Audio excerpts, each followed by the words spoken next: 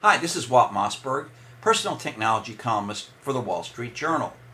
And everybody knows that if you're uh, on the go and you still need to do some computing, you could carry a laptop or you could carry one of the new uh, handheld computers, the super smartphones like an iPhone or a, a uh, Google G1. But over the course of this year, there has developed a new category of device uh, that is bigger than a smartphone, but actually uh, smaller and lighter and much less expensive than the smallest, lightest uh, laptops.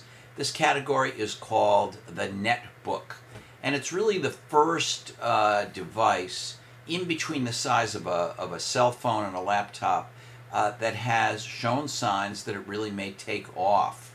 The computer industry has been working on something in this kind of size range for a long time with absolutely no success and uh, this is different.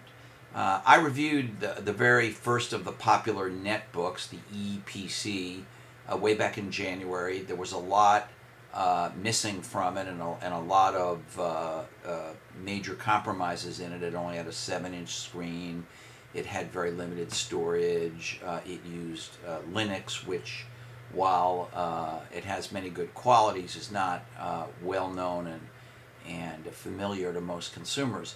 But in the time since then, many companies have jumped into this netbook category. Uh, many of the netbooks now have, uh, even the standard ones, uh, have a bigger screen, 8.9 inches. Some now have a 10 inch screen. Dell is planning to come out with one soon with a 12 inch screen. Uh, they, uh, almost all of them now have hard disks, at least as an option, so you get a lot of storage. Uh, and uh, they uh, they uh, use Windows XP at least optionally, and uh, most consumers uh, are very familiar with that and with all the programs you can run under Windows XP. So in my column this week, I took a look at four representative netbooks um, and talked about their strengths and weaknesses. one important thing to point out is that even though the prices have risen some since that early 7 inch E, which was about $300, uh, they're still between, uh, say, 350 and uh, 500 which uh, while you can buy a laptop, uh, a cheap laptop in that in that price range, um, is still a very low price for something that uh, is as light and portable, and yet getting to be as capable as these netbooks are.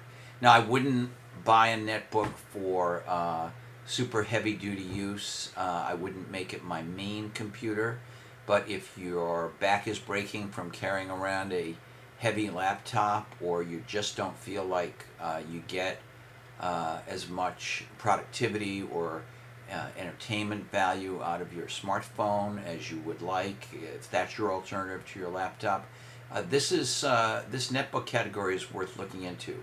Uh, I don't have time in this video to go into all the details of the four representative netbooks that I looked at. Uh, these included the, uh, the uh, Acer Aspire One and the Dell Mini 9, both of which have an 8.9 inch screen, uh, and two 10 inch screen ones, the MSI Wind U100, and another Eee PC from Asus called the 1000H. Uh, Asus has so many uh, netbooks and they change so frequently that their product line really is a blur. But this one is sort of at the higher end of their uh, of their line. It costs a little under uh, five hundred dollars. Um, uh, the one thing I would caution about on netbooks is be very uh, uh, sure that you're comfortable with the keyboards. Some of these keyboards have cramped keys. Some of them have uh, weird, uh, narrow, uh, not very usable trackpad. You have to make sure that whatever you uh, buy is something you feel like you really could uh, could work on. Uh, the other thing is battery life. the Asus one, which is a very nice netbook in my opinion, has a big flaw in battery life. the standard model with the standard battery gets got in my tests under two hours, and I think probably maybe two and a half hours max in natural uh, normal use and so you're going to have to spring for more uh, uh, a model with a bigger battery that adds some bulk and weight and a little extra cost uh, I think, to get really practical use out of that. The others did uh, better on battery life, but in some cases that was also with an additional battery. So uh, netbooks are here. They're worth a try if you're somebody who just uh, really feels you could make use of something between a normal laptop and a, uh, a smartphone. This is Walt Mossberg, and I'll see you next week.